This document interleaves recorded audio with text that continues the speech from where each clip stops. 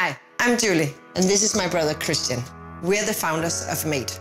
You might remember us from the first Mate campaign, where more than 7,000 of you supported our mission to make the coolest and best possible e-bike ever. Your trust and support helped us to kickstart a biking revolution all over the world. Today, we're ready to push it even further, and you can be part of it. After more than a year in development, we're finally ready to introduce the next generation of Mate. Mate X.